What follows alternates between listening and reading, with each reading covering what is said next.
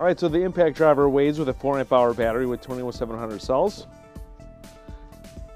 2 pounds and 07.0 ounces. As you can see, the Hilti SID2A12 impact driver is actually a pretty decent 12 volt impact driver. Now, I use this for my mechanic stuff. I use this a lot on the wave runners. I use this a lot on the boat.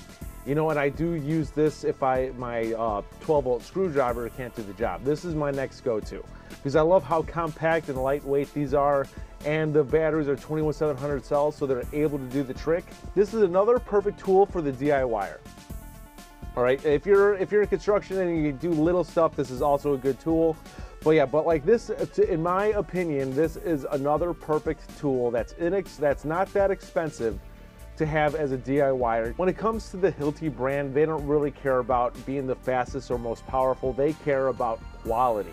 And so this will last you a while and the Hilti's 20 year warranty is actually a very good one and they are true to their promise. So that has been this MCT two minute review on this 12 volt Hilti impact driver. So that's pretty much it. I'll see you guys on the next one.